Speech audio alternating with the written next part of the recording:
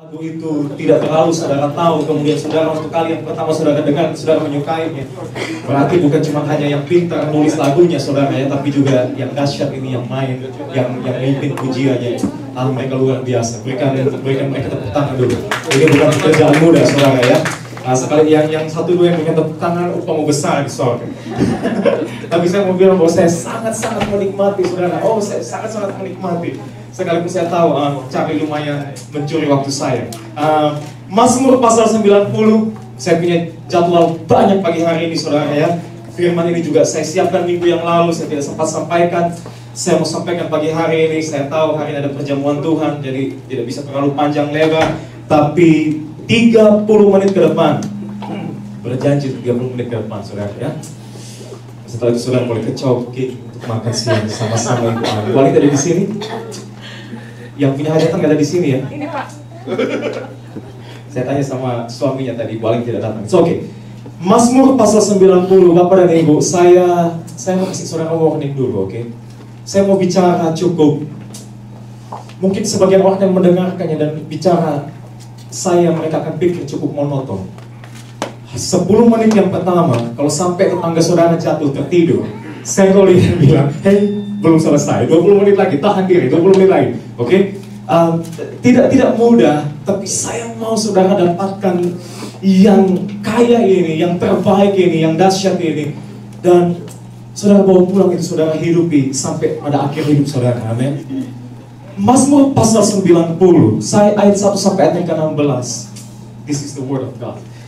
Ayat yang pertama dikatakan, doa Musa abdi Allah, Tuhan, Engkaulah tempat perteduhan kami turun-temurun. Sebelum gunung-gunung dilahirkan dan bumi dan dunia diperanakan, bahkan dari selama-lamanya sampai selama-lamanya, Engkaulah Allah. Engkau mengembalikan manusia kepada debu dan berkata, kembalilah hai anak-anak manusia. Sebab di matamu seribu tahun sama seperti hari kemarin apabila berlalu, atau seperti suatu giliran jaga di waktu malam. Engkau menghanyutkan manusia. Mereka seperti mimpi, seperti rumput yang bertumbuh di waktu pagi berkembang dan bertumbuh di waktu petang lisut dan lain.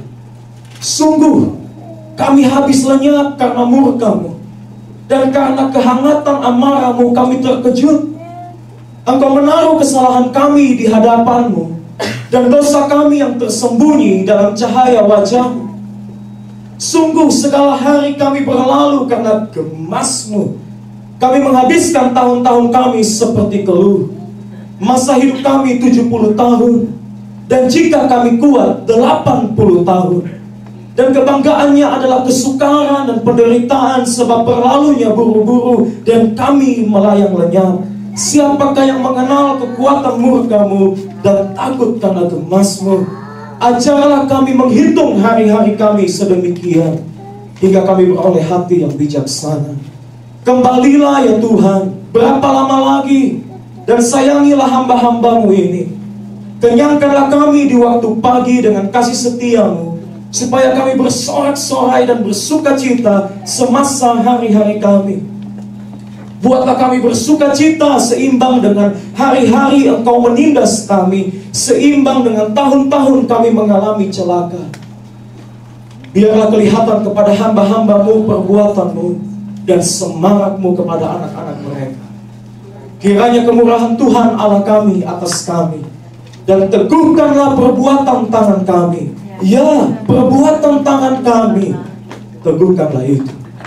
Bapak dan Ibu, sedikit banyak kalau orang dengar Mazmur 90, orang akan dengar pada momen ini, yaitu funeral. Jujur, yaitu apa? Orang berduka, orang kehilangan, orang menghadapi kematian. Sedikit banyak ada alasannya, yaitu apa? Pemasmur atau dalam konteks ini Musa beritahu bahwa manusia itu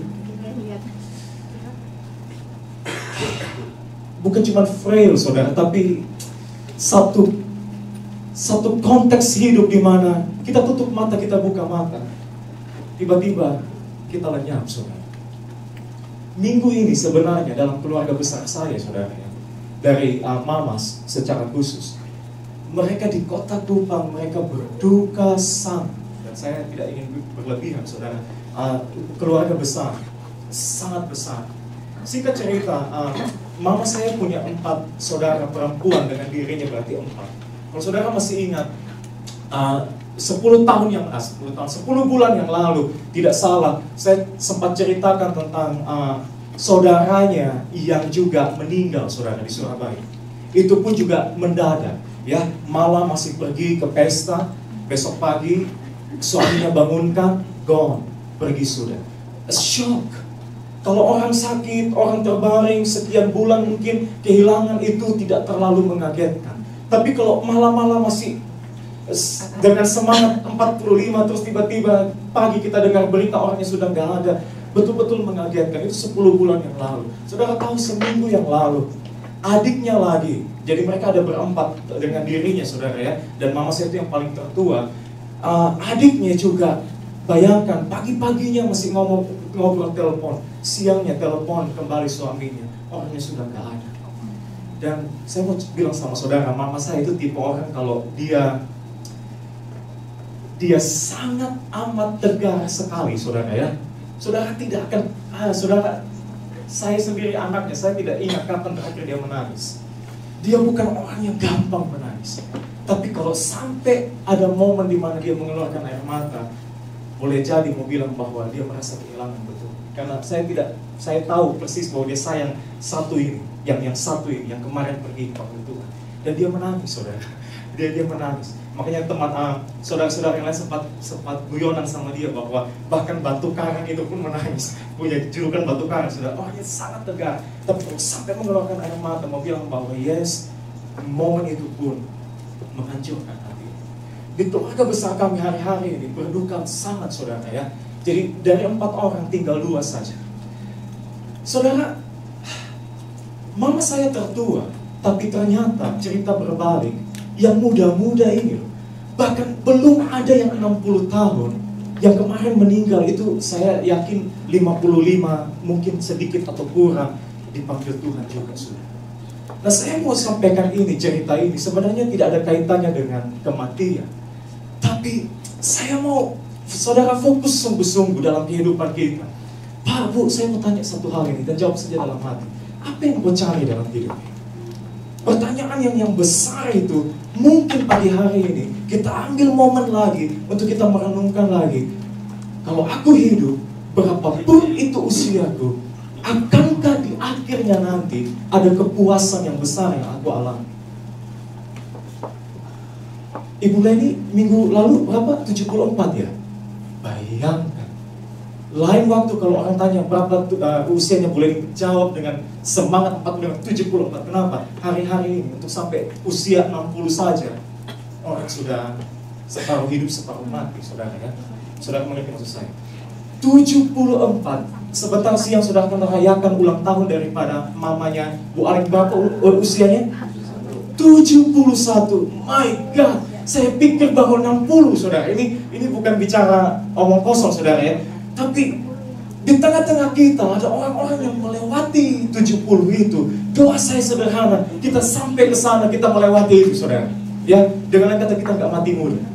Kecuali kalau saudara mau ya sudah Tapi anyway Coba coba perhatikan dulu pagi hari Kalau sampai hari itu di mana kita panggil dipanggil Tuhan Pertanyaannya saya mau saudara jawab hari ini Dan kita mulai bersiap-siap untuk hari ini Akankah aku puas dengan hidup ini?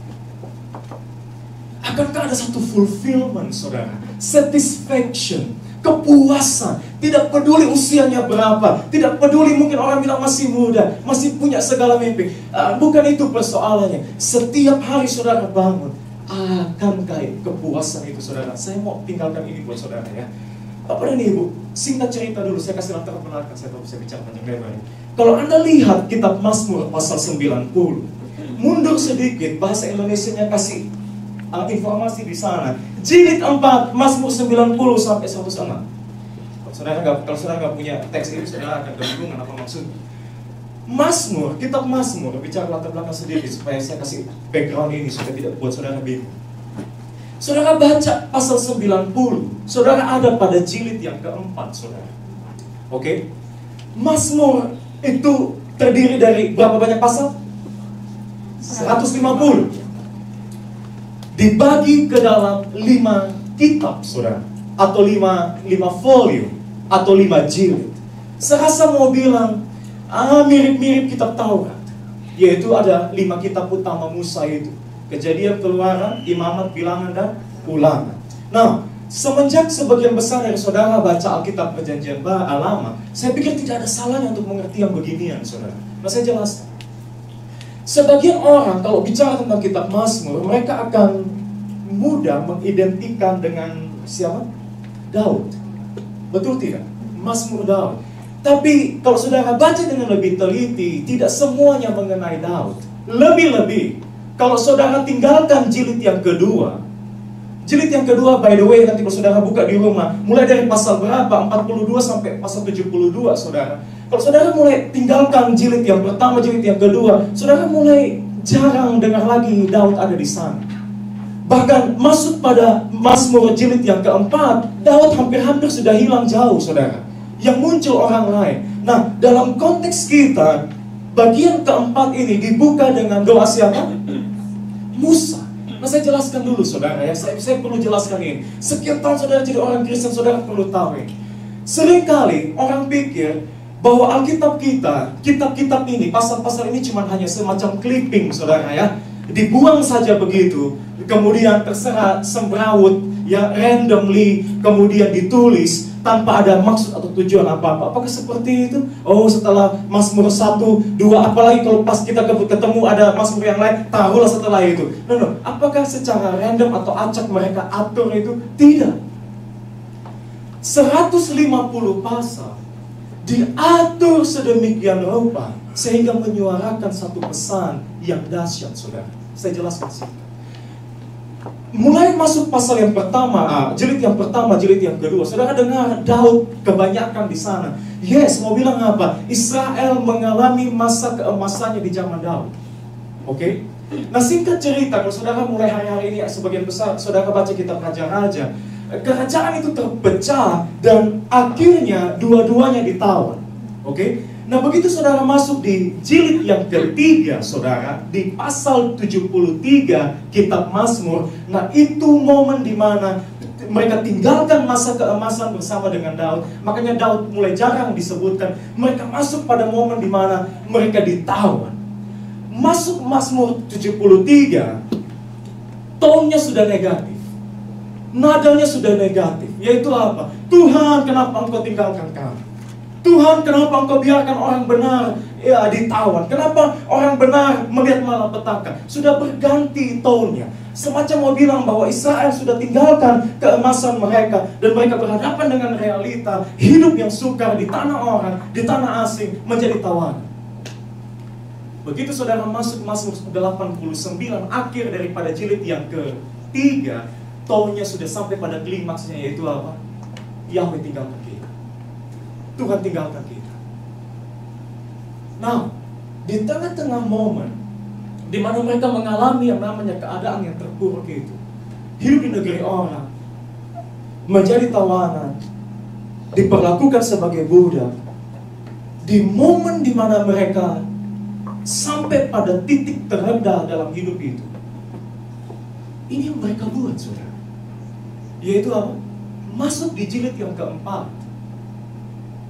Mereka ingat pekerjaan Yahweh di masa yang lalu.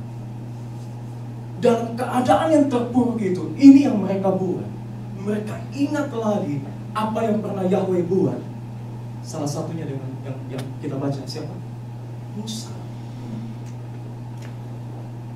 Apa yang sebenarnya terjadi saudara dengan Musa? Doa Musa kalau saudara perhatikan di pasal 32, coba buka sebentar bersama saya di kitab Keluaran. Kitab Keluaran pasal yang ke-32.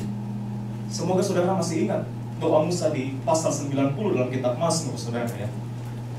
Saya mau baca sebentar doa Musa di Keluaran 32. Saudara coba ingat-ingat, apakah ada kemiripan? Ada kemiripan, saudara. Apa itu doa Musa di Keluaran pasal 32? Karena karena dalam konteks ini Musa berdoa, oke? Okay? Dalam konteks ini Musa berdoa.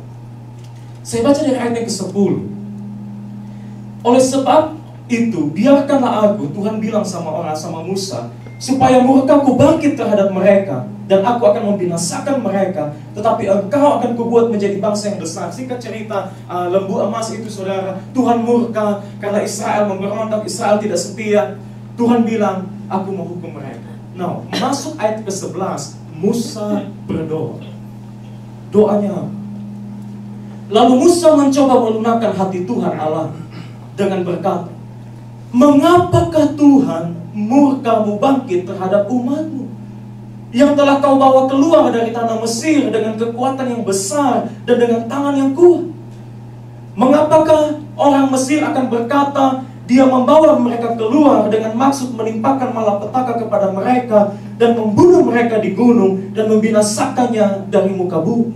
Berbaliklah dari murkamu, murkamu yang menyala-nyala itu dan menyesalah karena malapetaka yang hendak kau datangkan kepada umatmu. Ingatlah kepada Abraham, Ishak dan Israel hamba-hambamu itu. Sebab kepada mereka engkau telah bersumpah demi dirimu sendiri dan berfirman kepada mereka, Aku akan membuat keturunanmu sebanyak bintang di langit seluruh negeri yang telah kujanjikan ini akan kuberikan kepada keturunanmu. Demikian di, uh, dimilikinya untuk selama-lamanya. Ayat ke-11 bilang begini, dan menyesalah Tuhan karena malam petaka yang dirancangnya itu atas umatnya. Now, listen, kembali ke saya dulu. Ketika Israel dalam keterpurukan, saudara, apa yang mereka buat? Mereka ingat Musa. Dan mereka tulis lagi dalam kitab Mazmur pasal 90 doa Musa. Betul, Musa pernah sekali berdoa.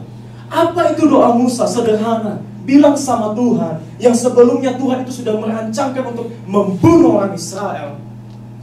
Murka terhadap mereka karena ketidaktaatan mereka. Musa berdoa dan Musa berhasil mengembalikan hati Tuhan. Nah, pesannya ada di mana? Pesannya di sini. Bahwa ketika pemazmur menuliskan doa Musa, sebenarnya pesannya sederhana. Yaitu bahwa ketika mereka ingat Musa pernah berdoa, Musa berhasil berdoa untuk melunakkan hati Tuhan. Musa berhasil berdoa untuk mengembalikan hati Tuhan mengasihani umatnya. Berarti kalau hari ini kita ada dalam keterpurukan, kalau hari ini kita ada dalam negeri orang, kalau hari ini kita mungkin tidak melihat masa depan itu, kita perlu ingat lagi apa yang Tuhan pernah buat dengan Musa, yaitu apa? Ada satu kesempatan Tuhan berubah hati. Tuhan berubah hati. Mau minta belas kasihan Tuhan, mau minta kemurahan Tuhan, mau minta yang namanya grace and mercy buat kita. Itu sebabnya mereka ingat lagi Musa dan apa yang menjadi doa. Saya mau tinggalkan ini buat saudara. Mazmur 90 itu Mazmur yang sebenarnya sekalipun sepintas dengarnya penuh dengan kata-kata pesimis. Oh hidup kami 70 tahun. Kalaupun kuat juga 80. Oh hari harinya berlalu terburu-buru. Hari ini ada, besok lenyap. Sekalipun kedengarannya pesimis saudara. Tapi sebenarnya Mazmur 90 syarat dengan pesan pengharapan syarat dengan pesan pengharapan. Nah, pesan pengharapan itu yang saya mau tinggalkan buat saudara. 10 menit saya selesai, oke? Okay? Sebelum saudara tertidur semua. Apa itu pesan pengharapan, saudara? Jawabannya ada di ayat yang ke-17. Oh, Tuhan Yesus. Saya saya siapkan khotbah ini, saudara. Waktu saya habis di ayat yang ke-17. Dikatakan di sana, kiranya kemurahan Tuhan Allah atas kami, Allah kami atas kami nulis dan teguhkanlah perbuatan tangan kami. Itu diulang saudara. Ibaratnya kalau saudara tadi nyanyi, refrennya diulang-ulang. Perbuatan tangan kami. Teguhkanlah itu. Kenapa doa itu harus diakhiri dengan statement ini? Mengingat betapa fananya manusia. Nah, saya sampai pada poin saya. Perhatikan sungguh-sungguh. Mengingat betapa cepatnya kita akan berlalu, saudara Israel sadar kalau hari ini apa yang aku buat kemudian itu pun akan berlalu. Terus apa gunanya aku bersusah-susah hari ini? Kamu saya mau ulang statement saya. Kalau hari ini saya bangun pagi-pagi, saya peras keringat, saya sampai mungkin separuh, separuh crazy saudara ya, berpikir untuk mengejar masa depan kemudian itu hilang begitu saja. Dan tidak ada yang tertinggal. Maaf kata. mau menjemput kita dengan tiba-tiba atau kita bangkrut dalam hitungan detik atau mungkin kita kehilangan segala-galanya terus apa gunanya hari ini kita? Susah-susah bukankah semua itu sia-sia? Kita ingin anak-anak kita kita ingin untuk punya masa depan. Anak-anak kita turn out berbalik. Sampai-sampai kita bilang kalau lu nggak ada harusnya itu berkat besar. Harusnya kau tidak perlu muncul hanya buat kesusahan di kamu. Mau bilang apa? Kita mengharapkan sesuatu tapi ternyata sia-sia. Nah di tengah-tengah realita itu Musa berdoa dan mengakhiri doa itu dengan ini perbuatan tangan kamu teguhkan itu diulang lagi. Perbuatan tangan kami teguhkan Sebenarnya itu kalimat yang benar seperti itu. Yang ini dibolak balik saudara ya. Dalam bahasa aslinya, pendeta berpot mengajar lagi. Dalam bahasa aslinya, bahasa Ibrani itu punya pattern, saudara. Seperti Jerman itu punya pattern. Secara normal, yang namanya kalau bahasa Ibrani, yang pertama kali muncul harus kata kerja. Yaitu apa? Teguhkan. Mesti seperti ini. Teguhkan. Tapi dalam konteks ini bukan kata kerja yang muncul sebenarnya yang pertama kali muncul itu sebenarnya perbuatan tangan kami. Jadi semacam mau bilang begini, kalau kalimat itu strukturnya dibalik, padahal itu kalimat yang lazimnya seperti itu, kemudian kalau itu dibalik, mau bilang bahwa yang muncul pertama itu penekanannya di situ. Jadi apa yang ditekankan? Perbuatan tangan kami Tuhan. Jerih payah kami. Our work kita punya pekerjaan, kita punya usaha, kita punya keahlian, semua yang bisa kita buat, perbuatan tangan kami. Teguhkan. Oh dia tidak puas, dia ulang lagi. Perbuatan tangan kami. Tuhan teguhkan. Nah persoalannya di sini, apa maksudnya diteguhkan? Singkat saja. Saya catat di sini ada beberapa uh, pengertian, yaitu establish. Ah, saya suka kata itu. Establish Make it firm. Make it stable. Enduring. Secure. Fixed. Securely determined. Settled. Dan versi yang lain bilang prosper. Ati, kenapa Pak? Ada yang terpesona pagi hari ini. Coba perhatikan saya dulu. Mau bilang begini loh, Tuhan, kalau kami menyadari betapa singkatnya semua yang kami raih, dan ini doa kami, buat itu punya efek kekal. Yaitu apa? Sampai pada generasi yang akan datang, tetap bisa menikmati berkat itu. Itu loh poinnya. Mengerti maksud saya? Kalau hari ini orang tua susah payah kerja, tidak hanya terputus ketika orang tua itu meninggal. Tapi oh my God, perbuatan dan kerja keras kami buat itu bisa dinikmati generasi yang akan datang. Prosper it, make it secure, establish. Pak saya, saya mau tanya sama saudara, siapa, siapa dari saudara yang pengen punya hidup seperti itu? Saya cerita saudara ya. Sebenarnya saya, saya sharing ini kemarin ayat ini mulai punya kenangan khusus di hati saya. Waktu adik saya kemarin saya pulang, ya, dia um, diberkati Tuhan luar biasa, um, beli rumah, um, diberkati saudara yang saya, saya, saya, saya. Bayangkan dia undang uh, satu gerejanya, mama uh, punya mama sama papa saya juga punya rekan kerabat. Waduh, muncul semua kita sudah ketak ketir makanannya cukup. Makan cukup. Puji Tuhan makan cukup. Saya bilang sama dia. Saya bilang sama dia. Hari ini kita bisa ada sampai momen seperti ini. Bukan cuma kita. Menantu mertua cucu kemudian cicit yang akan datang tetangga karyawan toko. Satu kota kurban bisa diberkati lewat hidup karena itu dia mulai dari satu bapak sama mama. Mereka Saudara kalau saya cerita sama saudara orang tua saya, datang dari latar belakang, susah minta ampun saudara ya. Susah minta ampun. Waduh kalau mama saya sudah cerita, mungkin kita cuma hanya bisa dengar sambil kita sadar diri, iya. Pada akhirnya semua itu karena kemurahan. Susah saudara. Tapi kalau sampai hari ini, cucu-cucunya bisa, maaf kata ini, ini tidak punya maksud sama sekali melebih-lebihkan saudara, minta maaf. Zaman zaman kami, ya liburan cuma hanya batas sampai Surabaya. ya, itu pun bulan 6, setahun sekali. Keponakan saya, saudara, hari-hari liburan satu tahun dua kali. Konteksnya sudah luar negeri. Juni ini mereka akan datang ke Atlanta. Eh, tidak ke Atlanta. Saya bilang tidak perlu datang ke Atlanta. Kamu cari apa di Atlanta? nah, gini. Mereka akan datang ke sini. Saya mau bilang begini, saya berdoa buat dia satu waktu saudara ya. Bermasa kali saya berdoa buat dia. Saya bilang ini yang Tuhan tahu dalam hati saya buat kamu. Kalau orang tua kamu diberkati sedemikian rupa, kamu akan Tuhan berkati lebih lagi.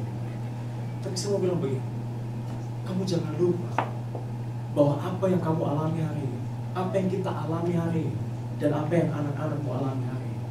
Huh, itu kalau dibalikan sebelumnya, berkat itu muncul. Di mana? Di orang tua kita. Dan apa yang terjadi dengan mereka? Usaha mereka, kerja keras mereka, benih mereka. Tuhan teguhkan itu sampai pada anak cucu, mertua, menantu, tetangga, karyawan, satu kota Kubang, sampai satu Atlanta, satu kota Bali, semua diberkati. Berapa banyak karyawan yang dia pakai, saudara? Berapa banyak karyawan yang cicit saya pakai di uh, konveksi? Kenapa berkat itu bisa menjabar ke banyak tempat sederhana. Karena pernah sekali usaha orang tua kami, Tuhan teguhkan. Sehingga itu nggak putus sampai pada mereka saja. Nggak cukup hanya mereka saja yang alami. Pak Bu, sampai di Atlanta pun itu dialami. Oke? Okay? Itu yang saya mau tinggalkan buat saudara. Apalagi saudara yang masih muda. Pak Bu, saya mau bilang begini pagi hari di tengah-tengah situasi di mana mereka berdoa dan mereka sadar hidup itu singkat, tapi ternyata poinnya ada di sini. Eh, ada yang bisa bersifat kekal, ada yang bisa tetap tinggal untuk selamanya. Berkat itu tidak tidak putus hanya sampai pada generasi yang pertama, no. Berkat itu bisa sampai pada tujuh keturunan dan tidak akan habis dalam nama Yesus. Mengapa? Karena ayat ini Musa bilang apa? Apa yang kami buat Tuhan make it firm, establish it, prosper it, make it secure. Supaya apa? Itu nggak habis cuma hanya pada generasi kita. Tragis nggak saudara kalau lihat? Orang sudah hidup, kerja setengah hidup, saudara setengah hidup, semua itu hilang. Sampai pada generasi yang akan datang, ada yang jadi gembel. Ada yang kemudian end up di penjara. Kenapa? Orang nggak sangka bahwa kenapa kenapa berkat itu nggak bisa uh, long lasting, nggak bisa tinggal tetap, nggak bisa kekal. Itu terjadi buat orang lain, tapi dalam nama Tuhan tidak terjadi buat saudara. Kenapa? Pagi hari ini ayat ini bilang begitu. Betul di tengah-tengah kefanaan hidup ini, my God betul di tengah-tengah momen di mana kita buka mata dan kemudian besok mungkin kita lain. Tapi satu hal ada pengharapan di sana yaitu? Tuhan bisa tinggalkan itu. Keberhasilan demi keberhasilan, kesuksesan demi kesuksesan, pertobatan demi pertobatan, masa depan demi masa depan. Itu punya efek kekekal. Kekekal. Itu sebabnya saya menutup dengan ini di ayat yang pertama dibuka dengan statement ini. Tuhan, Engkaulah tempat perteduhan kami. Apa? Turun temurun. Mau bilang apa? Kalau saudara pikir pagi hari ini pendeta saudara berkhotbah hanya untuk harta yang punya efek kekekalan, saudara keliru. Ada satu juga yang tinggal tetap dan punya efek kekekalan, yaitu apa? Iman saudara. Amen. Bayangkan, sampai pada tujuh cicit dan yang akan datang sampai pada generasi yang akan datang semua tetap mengakui Yahweh Tuhan. Uh, my God. Artinya pagi hari ini pulang dengan satu pesan Tuhan kalau hari ini engkau buat aku berhasil keberhasilan ini akan tinggal tetap kalau hari ini hati ini berubah dan cari engkau pertobatan ini akan tinggal kalau hari ini yang namanya kemakmuran dan prosperity engkau kasih tetap juga akan tinggal. Supaya bukan cuma aku yang nikmati. Satu kota di mana engkau panggil aku ikut nikmati. Perbuatan tangan kami teguhkan. Yang perbuatan tangan kami teguhkan. Mari makin berdiri pagi hari ini kami datang kami masuk dalam perjamuan kami ingat apa yang Yesus buat untuk kami. My God my God. Oh firmanmu sudah tersampaikan Tuhan. Firmanmu kusampaikan Tuhan. Biar itu bertumbuh, biar itu berakar, dan itu menghasilkan buah. Sehingga umatmu di tempat ini, semua, semua tidak ada terkecuali, semua melihat hari esok seperti yang diharapkan, dan bukan cuma hanya mereka, tapi sampai pada generasi yang akan datang. Perbuatan tangan kami teguhkan. Usaha kami, kerja keras kami, jeripaya kami, keringat kami, apa yang kami buat hari-hari ini, Tuhan teguhkan itu. Buat itu kekal.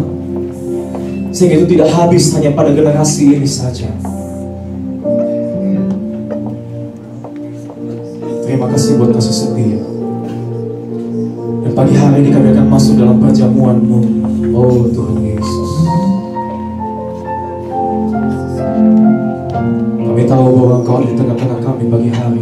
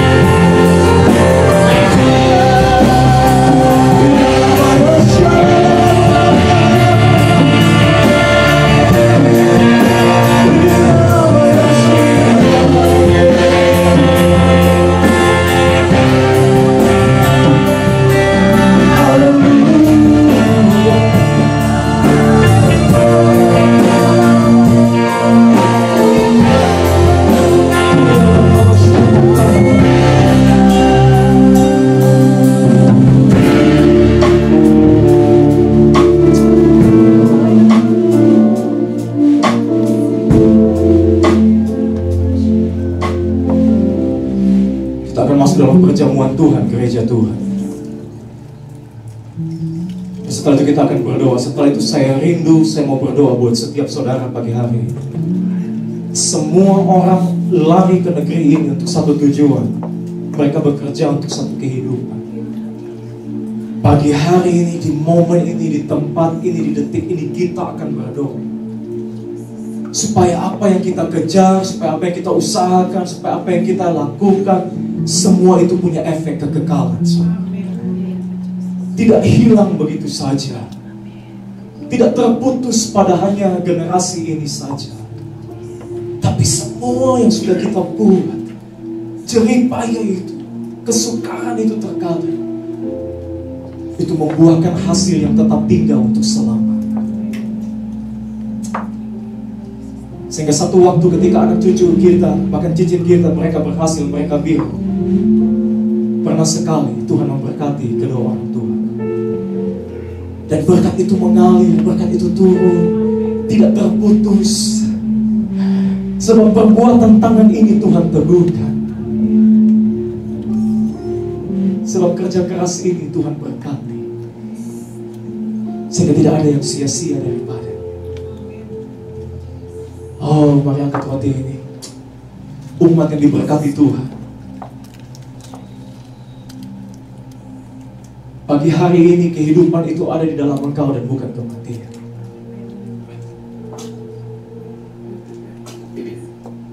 Firman itu berkata bahwa pada malam itu ketika dia diserahkan, dia mengambil roti. Dia berkata inilah tubuhku yang diserahkan buat kamu. Setiap kali kamu memakannya, ingatlah aku. Ada roti hidup yang hidup di dalam kita, gereja Tuhan. Dan dia ada di tengah-tengah kita pagi hari. Bukankah roti ini yang kita angkat adalah persekutuan kita bersama di dalam tubuh Yesus? Mari kita makan dengan iman dalam nama Yesus.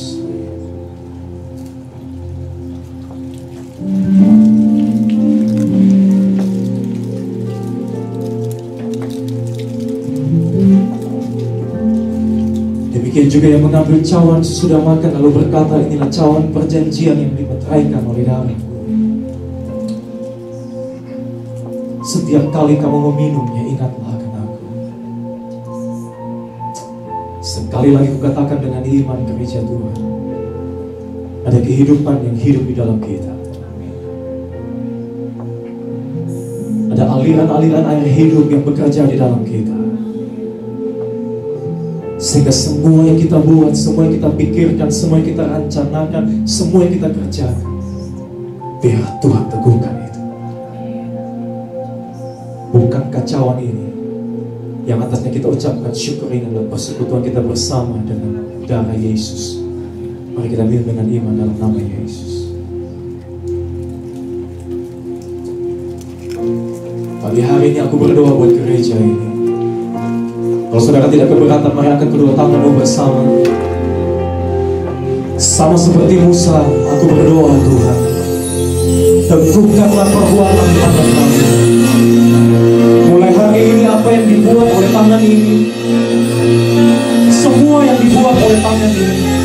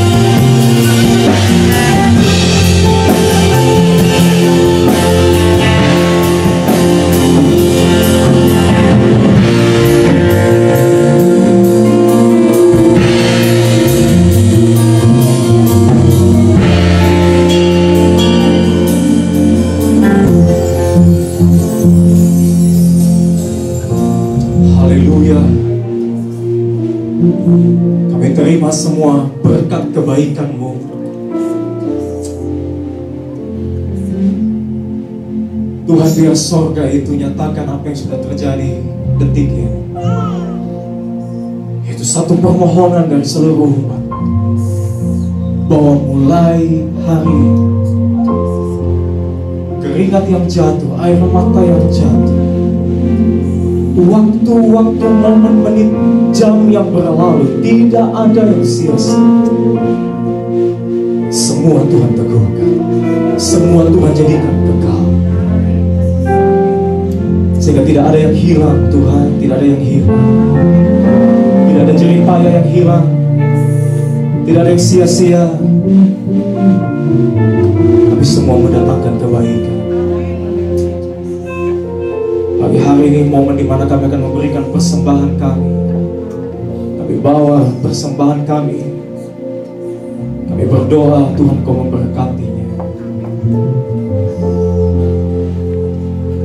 Biar lewat hidup ini semakin banyak orang ikuti berkat. Tempat di mana engkau telah taruh kami, di sana kami jadi berkat dan banyak orang merasakan. Terima kasih buat pagi. Di dalam nama Yesus, kami terima semua kebaikan. Semua orang yang percaya Tuhan katakan, Amin. Dua menit lagi saudara ya, saya akan kesempatan yang terbaik. I'm so happy. Seberapa laparkah saudara? ya um, saya nggak punya ibu dini di sini oh ada ibu dini saya tahu ulang tahunnya tanggal 28 kemarin tidak berlebihan pada pagi ini boleh maju sebentar dan I am aware that Mr. uh, Peter is celebrating his birthday on the 27th right? Come. I would like to see your um, wife. Oh, okay. Uh, yes, betul. So um, minggu depan uh, daylight savings ends, eh begins or ends? Ends. Berarti minggu depan saudara mesti bangun lebih pagi, saudara ya. Well, dalam artian telah tidak kurang tidurnya, jadi um, turut berbahagia itu turut berduka cita. But anyway, um, minggu depan, hopefully tidak ada yang terlambat. Mister, please come forward. I would like to pray for you. Uh, actually, you know what? I uh, talked with um, Yang In and asked her for her permission that uh, beginning, actually the the last Sunday of this month, she will be joining um, this department, present worship. well, she hasn't uh, replied yet, but I believe uh, the answer would be yes. So, um, yeah, yeah, we need your uh, support. So, um, we need her. She has, I mean, has a very beautiful voice. She can worship God. So why not waste um, the talents? So hopefully you will tell her that I said this um, about her, and we would like to see her beginning um, the last Sunday of this month. Come forward. And Ibu Dini. Um, Ibu Dini um, sama um, Mr. Peter, uh, saya punya Pak Oscar hari ini tidak ada di sini. Bagaimana kalau uh, Ibu boleh bantu saya? It's okay. Mari bangkit berdiri sebentar, kita nyanyi happy birthday. Nah, Ibu Dini merayakan ulang tahunnya tanggal 28 kemarin. Mr. Peter tanggal 27 saudara. Happy birthday. Mari bantu saya. Tidak ada apa, tidak apa-apa.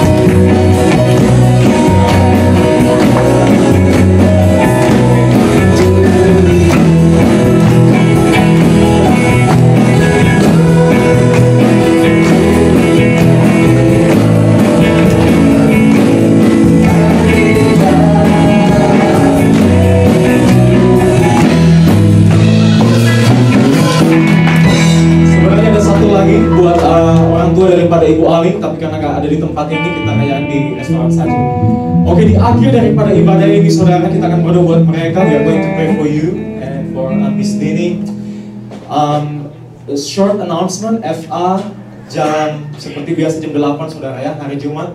Um, itu saja. Dan sekali lagi minggu depan jangan terlambat. Let us pray. Let us pray. We give you praise, we give you thanks for everything that you have done. Father God, today we commit these two brothers and sisters in your name, Mr. Peter and Miss Lily, believing that the goodness of God, the blessing of the Lord come upon them. Their family, Father God. Buat Bu Yanti, buat Pak Budi, buat anak-anak. We believe, we strongly believe in that, that the Lord will prosper everything that they do. He will, get, he will give them a bright, bright future ahead, Father God. Pray for Mr. Kang, Ibu Dini, dan berdoa juga buat semua gereja. I pray for all the church this morning, Father. Everything that we, we do prosper, establish, make it firm. That your name will be glorified. Thank you for this very moment. Thank you for everything, Father God. Berdoa untuk minggu depan secara khusus. Tuhan percaya bahwa akan kembalikan umat ini untuk menyembah dengan waktu yang tepat. Karena kami datang, kami rindu, kami menyembah. Kami mencari wajah Tuhan. Dan sungguh-sungguh kami berbakti dalam kesetiaan. Terima kasih Tuhan. So this is our prayer. This is our worship. This is our service you, Lord. In Jesus' name, we pray and we give you thanks. And all God's people say, Amen. On three, the candles, okay? One, two, three. One more time.